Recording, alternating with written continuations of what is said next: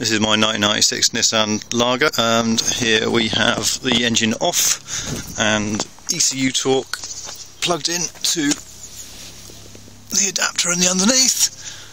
Just a USB serial adapter and Windows XP running eTorque. You can see with the engine off there's not much going on, no engine RPM, shows you the water temp.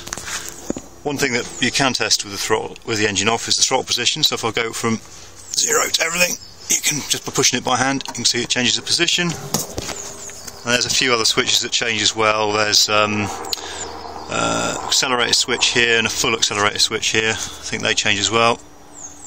I'll just push that and see if you can see it.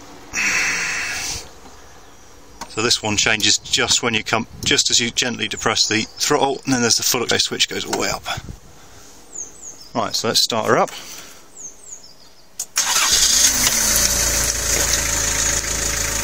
I think because the battery dips during startup, uh, it takes a little while for uh, ECUTalk to um, start reading signals again, but shortly you'll see. There you go. So we've got engine RPM, a few other things like that. So you can see here is like a mass airflow sensor, currently showing about 2 volts, and if I was to go around the front of the car, just quickly, here's the mass airflow sensor, just unplug that fellow there go back round again.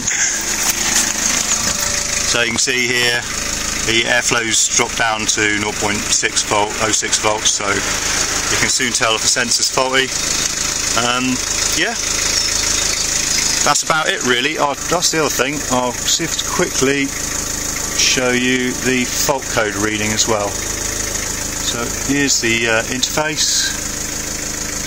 Sorry, it's not very good. Easy to focus this camera. You just click read faults off we go on here. It's got mass airflow sensor at the top and there's a couple of existing faults with, with the uh, fuel injection system.